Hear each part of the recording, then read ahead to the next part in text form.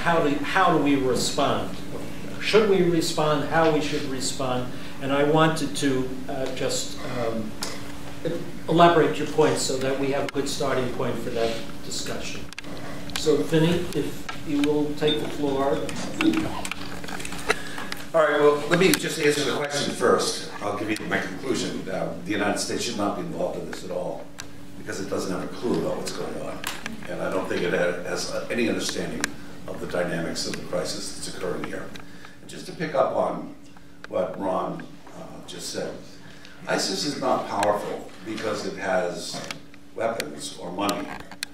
ISIS has gained control because of the collapse of the Iraqi regime and the dysfunction of the Syrian regime. That dysfunction seems to be endemic in all the countries that we're talking about. I mean, if you look at Egypt, look at the, the hollowing out of the Arab Spring, uh, you look at the confidence of people in their governments, uh, there's a huge vacuum that's growing in this thing that we call the nation state. The caliphate is a genuine alternative to it. And so what we're really looking at is is a war that's being fought on two levels. On one level, you've got the states who are going to try to save themselves. We're going to define this problem as a problem of terrorism that needs to be repressed at all costs, and by using a lot of state power to do so. And then you've got the growth of the caliphate for people who are, generally speaking, dissatisfied with the nation state, with capitalism, with the general state of affairs in the world, who want an alternative to the nation state. These are the young fighters that are going into Iraq and Syria right now. So I don't think that we're really going to see collapse of the Islamic State. I think that what we're really witnessing is a morphing of the ideas of Al Qaeda uh, into something that's genuinely more attractive to a large number of people in the world. Generally speaking, people who are disillusioned with the way the world is being run right now. Now, let me make a caveat about what I'm going to say. I, I reserve the right to revise everything I'm going to say tonight. I mean, I spent the whole weekend making an argument that there was no way Obama was going to be able to put a coalition together. And at 10 o'clock last night, turn on the news and there's a coalition, okay? I still think the coalition is flawed, um, but obviously I have to restate my hypothesis that the coalition is not going to work. So I had to come up with a completely different way of thinking about what's going on here. Um, and so what I did is I said, okay, we've got this problem, and we've got you know some fairly you know mundane and time-worn ways of thinking about this particular problem. We've got you know things like terrorism out there, and you know um, jihad and all this stuff that have been floating around for years and years and years. And they really haven't really gotten us very far in understanding what's going on here.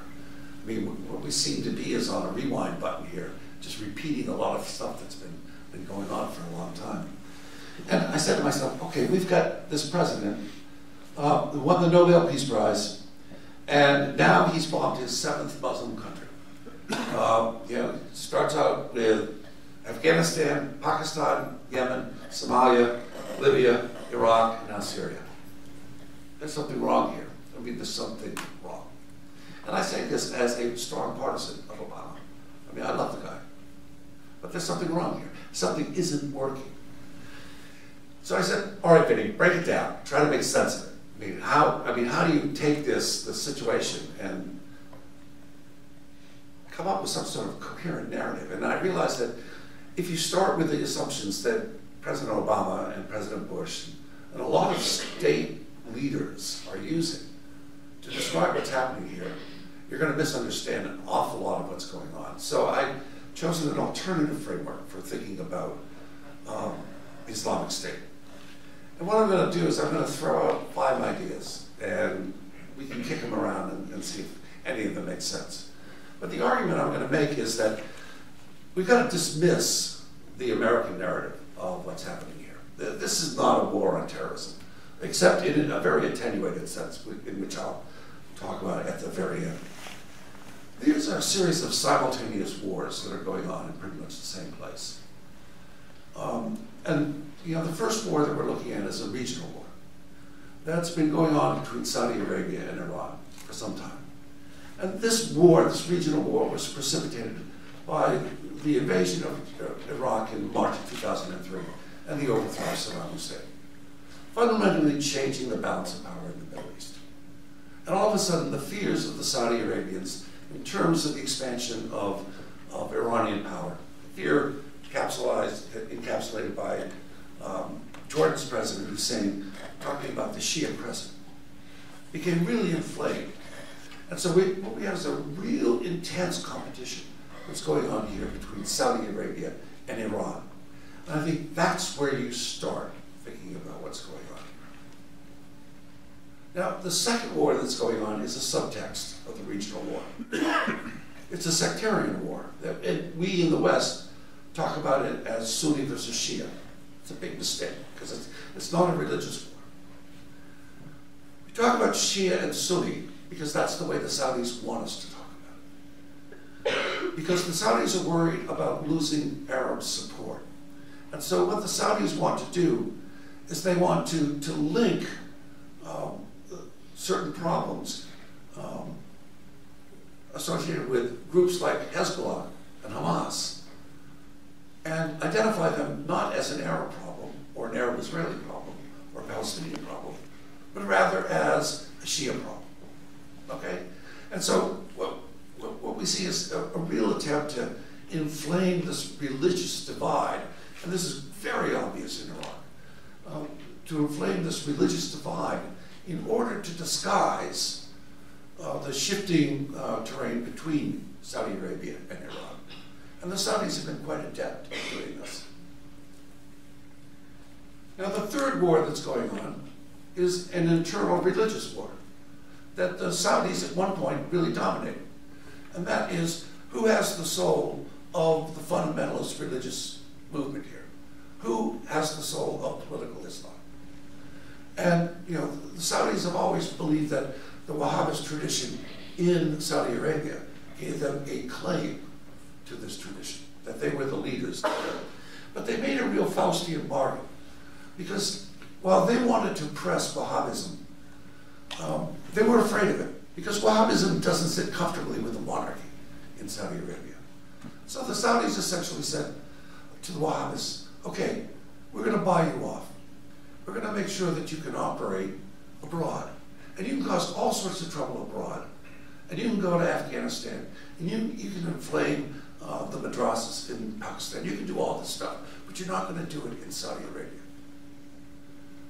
Well, it's come home to bite them, because right now we see an internal Wahhabist war. And there are four groups. You've got the Saudi Wahhabists, who made their position very clear. You've got the Qatari Wahhabists, which are a completely different ilk, but very, very much opposed to certain of the aspirations of Saudi Arabia. You've got the Al Qaeda Wahhabists, the Al Nusra group in Syria, and then you've got the Islamic State Wahhabists. And they're all trying to claim the mantle of political Islam. They're all trying to claim, ultimately, the right to found the caliphate, but only the Islamic State has had the courage to really talk in those terms. Osama bin Laden did in his fatwa of 1998, but he never really emphasized. And Al Qaeda never really emphasized it, but it was there. But the Islamic State says, no, we want to establish the caliphate. This is our aspiration. This is our political objective. And they're trying to seize the dynamism of political Islam in the world, not just in the Middle East. So that's the third war that's going on. The fourth war that's going on here is a really interesting one because it's a Russian-American war. And it starts in Bosnia uh, with the, the, American support for the Bosnian Muslims, which then turns into support for Kosovar independence which the Russians took um, as a serious affront to Russian aspirations in southeastern Europe. And then the Russians went tit for tat, went to Georgia, carved off South Ossetia and Abkhazia, and invaded Georgia. And then now, I mean, with their problems in Chechnya, they tried to counterbalance the American support uh, with diversions from American support um, for Ukraine. Now, Ukraine isn't really a Muslim issue at all in terms of the Russian-American competition.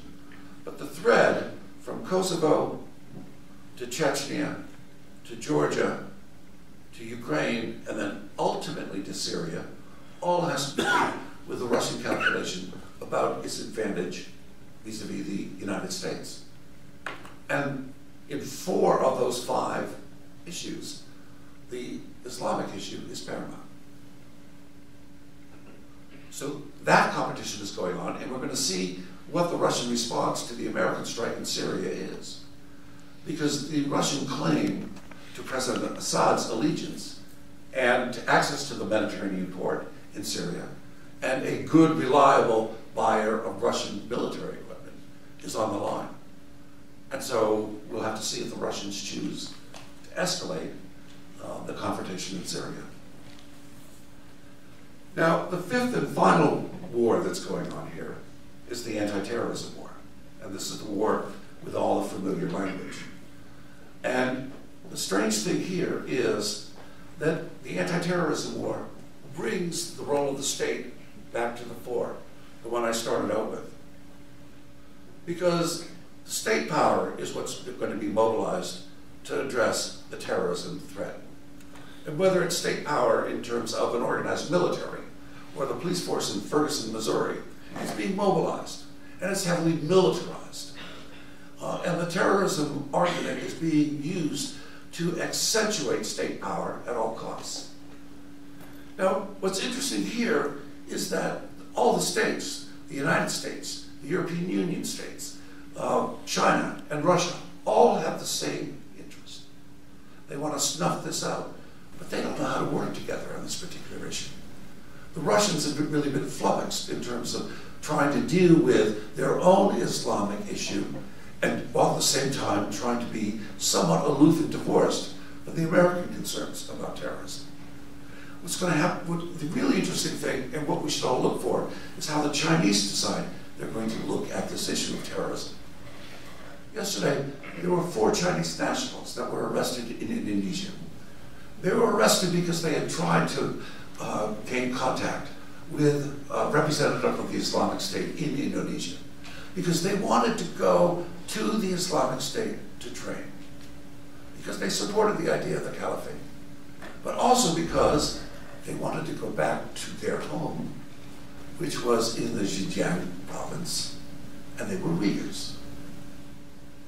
And so the Chinese ultimately are going to make the same connection that there is something going on in this organization for the caliphate, which is emerging out of uh, this perception that the nation state, the economic system of the nation state, is failing, and we have to come up with a genuine alternative, is affecting people all over the world. Now, the reason why the United States should have nothing to do with this is because the United States doesn't understand any of this.